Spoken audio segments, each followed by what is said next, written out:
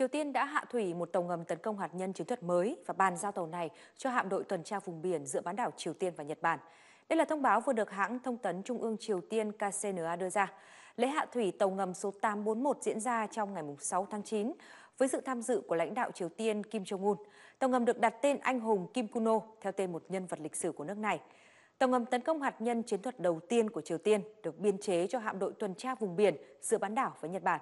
Theo KCNA, lễ hạ thủy tàu ngầm này báo hiệu sự khởi đầu một chương mới trong việc củng cố lực lượng hải quân của Triều Tiên, tăng cường hơn nữa khả năng gian đe bằng vũ khí hạt nhân của Triều Tiên cả về chất lượng lẫn số lượng. Sáng nay, Ủy ban Nhà nước về người Việt Nam ở nước ngoài, Bộ Ngoại giao tổ chức hội thảo tổng kết triển khai kế hoạch Ngày tôn vinh tiếng Việt trong cộng đồng người Việt Nam ở nước ngoài năm 2023.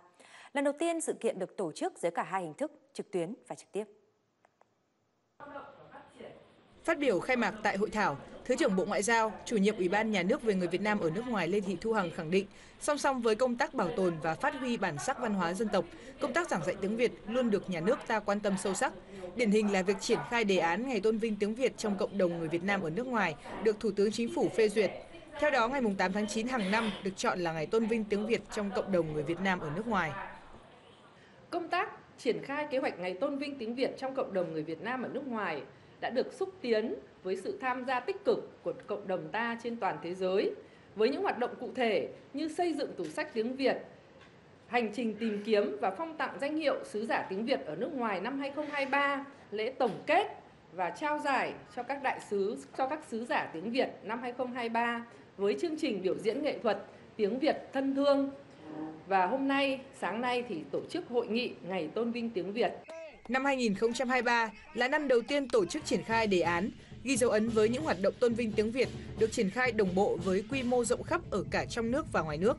Đề án đã thu hút đông đảo cộng đồng người Việt Nam ở nước ngoài, tạo hiệu ứng lan tỏa các giá trị cao đẹp của ngôn ngữ và văn hóa dân tộc. Trước đó thì ờ, dạy tiếng Việt chỉ là do nhu cầu của cộng đồng, nhu cầu của các phụ huynh và tình yêu của mình. Nhưng mà từ khi có những cái sự quan tâm ủng hộ nhiều hơn nữa, đặc biệt là khi ngày tôn vinh tiếng Việt ra đời và sau đó là những cái hoạt động, những cuộc thi rồi những cái dự án của nhà nước, của Bộ Ngoại giao triển khai ra thì mình cảm thấy là cái việc mình làm nó ý nghĩa hơn rất nhiều và giống như thể là có một cái nguồn động viên để mình có thể làm tốt hơn nữa. Các đại biểu tham dự hội thảo đã lắng nghe các tham luận từ đại diện các cơ quan, ban ngành và kiều bào. Đây cũng là dịp để các đại biểu thảo luận và đề xuất thêm các phương thức nhằm triển khai hiệu quả hơn nữa hoạt động tôn vinh tiếng Việt ở trong nước và nước ngoài trong năm 2023. Thủ đô New Delhi của Ấn Độ đã hoàn thiện công tác chuẩn bị cho hội nghị thượng đỉnh G20. Đây cũng là cơ hội để quốc gia Nam Á này thể hiện vị thế là nền kinh tế lớn phát triển nhanh nhất thế giới. Trong hai ngày mùng 9 và mùng 10 tháng 9, hội nghị thượng đỉnh nhóm các nền kinh tế phát triển và mới nổi hàng đầu thế giới G20 sẽ diễn ra tại thủ đô New Delhi của Ấn Độ. Địa điểm tổ chức dự kiến là Trung tâm Hội nghị Triển lãm Quốc tế Brahat Mandapam ở New Delhi.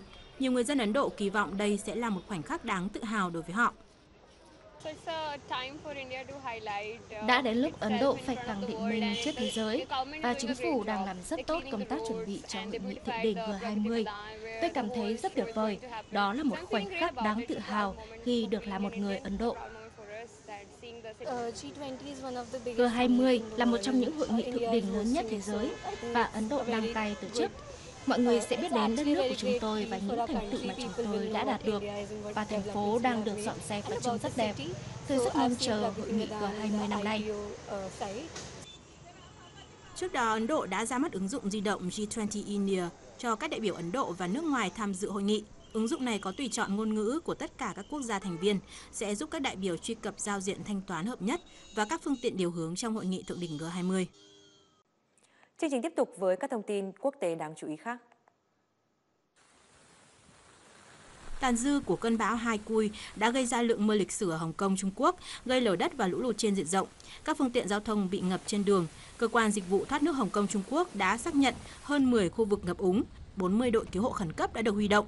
Trước đó, nhiều ga tàu điện và nhiều tuyến xe buýt đã phải dừng hoạt động do ngập lụt và nước tràn vào ga. Chính quyền địa phương đã cho đóng cửa trường học và yêu cầu người dân ở trong nhà. Ít nhất 6 người đã thiệt mạng và 6 người vẫn mất tích khi cơn bão Daniel quét qua miền Trung Hy Lạp, gây lở đất, phá hủy đường xá, cầu cống và cuốn trôi nhiều ô tô ở cảng Volos. Thành phố cảng Volos khu vực miền núi Pelion xung quanh và các thành phố Kadisa và Chikala là những khu vực bị ảnh hưởng nặng nề nhất. Các hoạt động cứu hộ vẫn đang được tiến hành. Trước đó, gần 1.000 người đã được sơ tán. Nhà chức trách Brazil cho biết số nạn nhân thiệt mạng do bão kèm theo mưa lớn và lốc xoáy ở miền nam nước này đã lên tới 36 người. Trong khi đó, dự báo khu vực này có thể phải hứng chịu thời tiết cực đoan trong những ngày tới. Mưa bão kéo dài từ ngày 4 tháng 9 tới nay, gây ngập lụt toàn bộ khu dân cư tại bang Rio Grande do Sul. Theo số liệu thống kê, đợt mưa bão này đã ảnh hưởng tới 70 thị trấn và ít nhất 52.000 cư dân, trong đó hơn 5.300 người đã buộc phải rời bỏ nhà cửa đi lánh nạn. Cổ phiếu của Apple hôm qua, mùng 7 tháng 9 đã giảm 2,9% giá trị sau khi xuất hiện thông tin cho rằng Trung Quốc cấm nhân viên chính phủ và các cơ quan liên quan dùng điện thoại iPhone. Nguyên nhân là do các nhà đầu tư đang lo ngại về khả năng kinh doanh của Apple tại Trung Quốc, thị trường lớn nhất của hãng này. Trước đó thì cổ phiếu Apple đã ghi nhận mức giảm hàng ngày lớn nhất trong hơn một tháng vào hôm 6 tháng 9. Công ty có giá trị lớn nhất thế giới này đã thiệt hại khoảng 200 tỷ đô la Mỹ trong hai ngày. Và đáng chú ý, cổ phiếu Apple hiện là cổ phiếu có hiệu suất kém nhất trong chỉ số trung bình công nghiệp Dow Jones. Lệnh cấm sử dụng điện thoại iPhone của chính phủ Trung Quốc có thể là một dấu hiệu đáng ngại đối với Apple, đặc biệt là khi mà xảy ra sát ngày hãng công bố loạt sản phẩm mới. Trung Quốc là thị trường nước ngoài lớn nhất của Apple và doanh số bán hàng tại đây chiếm khoảng 1 phần 5 tổng doanh thu của tập đoàn này vào năm ngoái. Ứng dụng các công cụ trí, trí tuệ nhân tạo AI chẳng hạn như là ChatGPT trong lĩnh vực giáo dục và nghiên cứu học thuật đang trở thành đề tài thảo luận sôi nổi. Một số chuyên gia thì có hướng tiếp cận cởi mở trong việc sử dụng AI, một số khác thì lại phản đối điều này. Trí tuệ nhân tạo như ChatGPT sẽ thay đổi ngành giáo dục và nghiên cứu học thuật như thế nào? Đâu là thách thức và lợi ích của việc sử dụng AI trong lĩnh vực giáo dục? Đây là chủ đề mà nhiều người hoạt động trong lĩnh vực này đặc biệt quan tâm. Một số người nhìn thấy lợi ích của khả năng xử lý thông tin và dữ liệu của công nghệ. Những người khác lo ngại rằng sinh viên có thể dựa vào AI để làm bài và gian lận một cách hiệu quả. Một số ý kiến cho rằng giáo viên có thể quyết định sinh viên nào có thể sử dụng AI để hỗ trợ họ làm bài tập. Chúng tôi chỉ không muốn có lệnh cấm AI, mà thay vào đó chúng tôi có một cách tiếp cận tương đối cởi mở hơn. Đó là bạn có thể sử dụng nó miễn là bạn chắc chắn rằng đánh giá đó là hợp lệ. Bằng cách nào đó, AI giúp chúng tôi kiểm tra các kết quả và nó an toàn, nghĩa là chúng tôi biết rằng học sinh đó đã làm bài tập mà chúng tôi đang đánh giá. Một số ý kiến khác cho rằng sinh viên không được phép sử dụng công nghệ mới trước khi chính sách được xây dựng. Tôi xin nói thẳng là không, vì theo tôi điều này sẽ thực sự ảnh hưởng đến khả năng học tập của học sinh. Do hiện nay kiến thức được thu thập qua việc đọc sách, đọc các bài nghiên cứu khác nhau, chứ không thể được bổ sung bằng những thông tin được tạo ra một cách nhân tạo. Tổ chức Giáo dục Khoa học và Văn hóa của Liên Hợp Quốc UNESCO gần đây đã đưa ra hướng dẫn toàn cầu đầu tiên về Gen AI trong giáo dục Hướng dẫn này phát thảo các bước cần thực hiện trong các lĩnh vực như bảo vệ dữ liệu và sửa đổi luật bản quyền, đồng thời kêu gọi các nước đảm bảo giáo viên có được những kỹ năng AI cần thiết. Công nghệ là một công cụ, bản thân nó mang tính trung lập, tốt hay xấu phụ thuộc vào cách chúng ta sử dụng công nghệ, và chúng ta cần một hệ sinh thái có thể thực sự được định hình lại cho tương lai của giáo dục. Hướng dẫn mới nhất của UNESCO cũng cảnh báo nguy cơ Gen AI sẽ làm sâu sắc thêm sự chia rẽ xã hội khi thành công về kinh tế và giáo dục ngày càng phụ thuộc vào khả năng tiếp cận điện, máy tính và Internet mà những người nghèo không thể tiếp cận được.